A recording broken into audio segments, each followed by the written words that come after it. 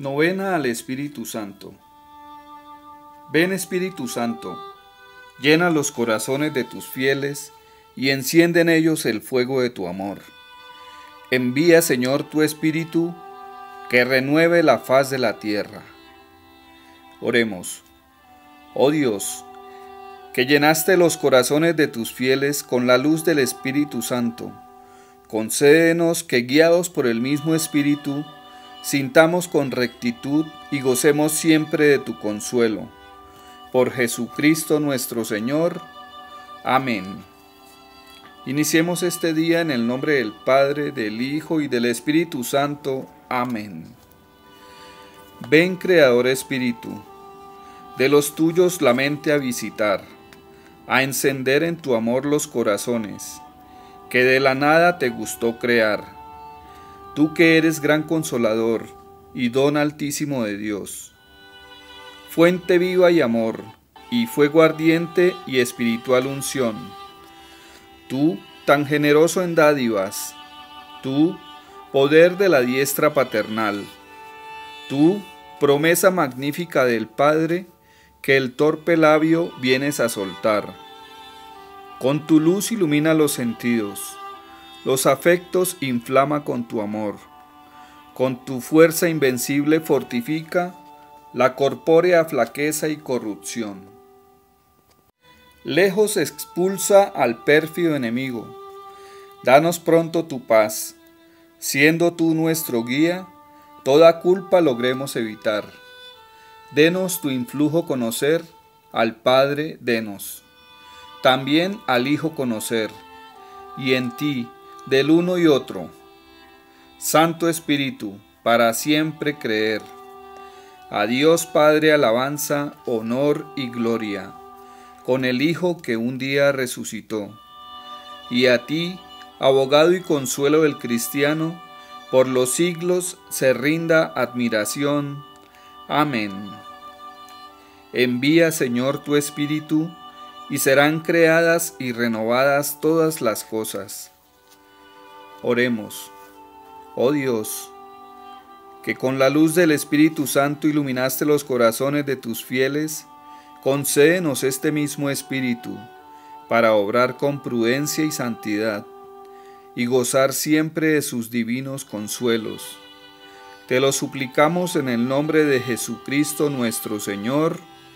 Amén. Consideración Ustedes sí conocerán al Espíritu Santo porque está en ustedes. Del Evangelio según San Juan, capítulo 14, versículo 17. El Espíritu Santo lo reciben los que lo esperan con oración y con ánimo dispuesto y silencio. El Divino Espíritu nunca tumba las puertas del corazón de nadie, o se le abre espontáneamente o se queda fuera. Espera hasta que lo recibamos con cariño filial. Hay que obrar como lo hicieron los primeros discípulos y como lo hacen tantos cristianos fervorosos en la actualidad. Preocuparse por darle una calurosa bienvenida en el alma al Santo Paráclito.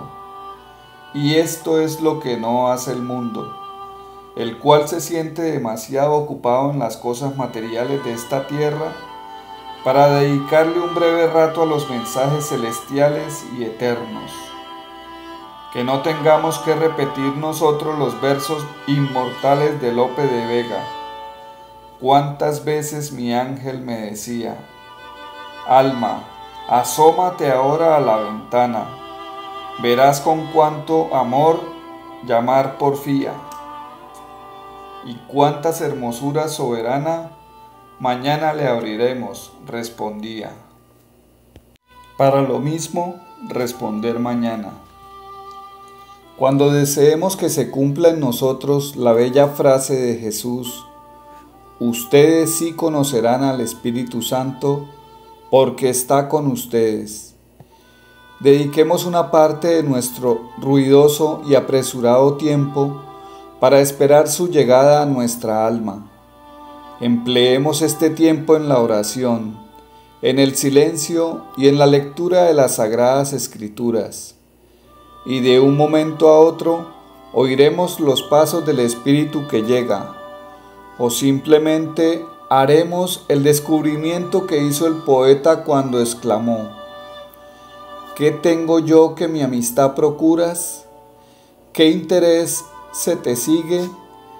Dueño mío, que a mi puerta cubierto de rocío pasas las noches del invierno oscuras? Mira que estoy a la puerta y llamo. Si alguno oye mi voz y me abre la puerta, entraré en su casa y cenaré con él, y él conmigo. Apocalipsis 3:20 Tarea para hoy. Tendré cada día algunos momentos de silencio para que el Divino Espíritu pueda hablar a mi alma. Historia de vida. ¿Por qué algunas personas tienen tan nobles sentimientos? Algunas personas sienten un gran susto por dedicarse a toda ocupación que se refiere directamente a Dios. En vez de un Señor temible, ven en Dios a un Padre amable. Sienten en el corazón un deseo inmenso de agradarle. Todo les parece poco con tal de tener contento a Dios. Las propias faltas les causan desagrado y tristeza, pero nunca les traen desesperación, sino que les llevan a pedir perdón al Señor con confianza seguras de que se aplacará con nuestra buena voluntad, con nuestras oraciones y obras de caridad, y sobre todo con la intercesión de su Hijo a nuestro favor. Ante cualquier acontecimiento grave dicen, es mi Padre que lo permite, acepto su santa voluntad. Aman a todos los que Dios ama a María, a los santos, a las almas del purgatorio, a los sacerdotes, a los pecadores que necesitan conversión. Ven en los demás los reflejos de la bondad de Dios y por eso los aprecian y veneran. Tienen un total abandono en brazos de Dios. Saben que siendo Dios nuestro Padre, es imposible que nos suceda algo definitivamente malo sienten un deseo incontenible de abandonarse en los brazos de la divina providencia del Padre Celestial, porque aprendieron que es excelente rendir culto a Dios como a Padre que como dueño. ¿Y de dónde les vienen tan grandes cualidades? Es que recibieron del Espíritu Santo el don de piedad. Isabel de la Santísima Trinidad. Oración final. Ven Espíritu Divino, manda tu luz desde el cielo. Padre amoroso del pobre, don en tus dones espléndido. Luz que iluminas las almas, fuente del mayor consuelo. Ven dulce huésped del alma, descanso en nuestros esfuerzos, tregua en el duro trabajo, brisa en las horas de fuego gozo que enjuga las lágrimas y reconforta en los duelos. Llega hasta el fondo del alma, divina luz, y enriquecenos. Mira el vacío del alma si tú le faltas por dentro. Mira el poder del pecado cuando no envías tu aliento. Riega la tierra en sequía, sana al corazón enfermo, lava las manchas, infunde calor de vida en mi hielo Doma al espíritu indómito, guía al que tuerce el sendero, reparte tus siete dones según la fe de tus siervos. Por tu bondad y tu gracia, dale al esfuerzo su éxito. Salva al que gusta salvarse, y danos tu gozo eterno. Amén. Por las intenciones del Papa Francisco, por los obispos, sacerdotes y diáconos. Padre nuestro que estás en el cielo, santificado sea tu nombre.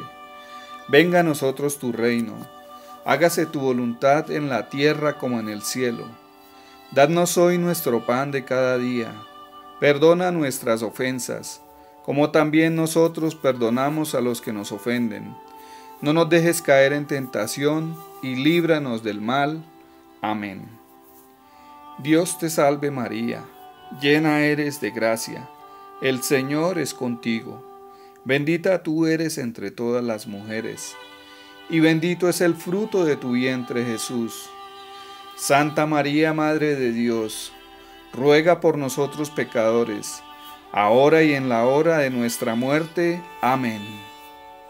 Gloria al Padre, gloria al Hijo y gloria al Espíritu Santo, como era en el principio, ahora y siempre, por los siglos de los siglos. Amén. También oremos por nuestras familias, por las necesidades de cada uno de nosotros, por el estudio de nuestros hijos, por nuestros trabajos, por la salud de nuestros familiares y amigos, por la conversión de los pecadores. Dios te salve, Reina y Madre, Madre de misericordia, vida, dulzura y esperanza nuestra. Dios te salve, a ti clamamos los desterrados hijos de Eva. A ti suspiramos gimiendo y llorando en este valle de lágrimas. Ea pues, Señora abogada nuestra, Vuelve a nosotros esos tus ojos misericordiosos, y después de este destierro, muéstranos a Jesús, fruto bendito de tu vientre, oh clemente, oh piadosa, oh dulce Virgen María, ruega por nosotros, Santa Madre de Dios, para que seamos dignos de alcanzar y gozar las divinas promesas y gracias de nuestro Señor Jesucristo. Amén. Oh Espíritu Santo, Amor del Padre y del Hijo, inspíranos siempre lo que debemos hacer y lo que debemos evitar, lo que debemos decir y lo que debemos pensar, para procurar tu gloria y el bien de las almas. Amén. En el nombre del Padre, del Hijo y del Espíritu Santo. Amén.